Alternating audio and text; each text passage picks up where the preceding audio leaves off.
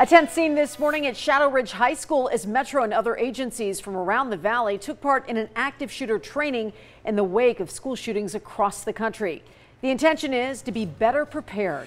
And 13 Action News reporter Tom George now gives us an inside look at their training today.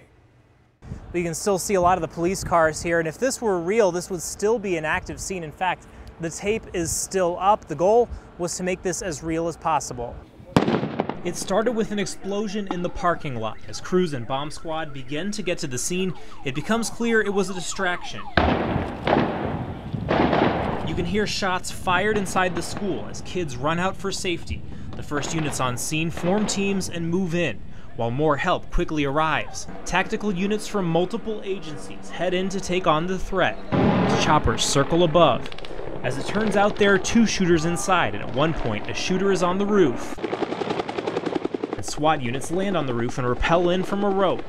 In the end, the threat is handled and they focus on getting kids out safely and treating people who were injured. A very realistic scenario designed to bring Metro together with other agencies, specifically in light of school shootings around the country. It was appropriate for us to conduct an exercise to, to, to test our preparedness in response to a critical incident. The goal, learn lessons now to be ready for later. Identify them so in the real scenario, we have already identified those issues.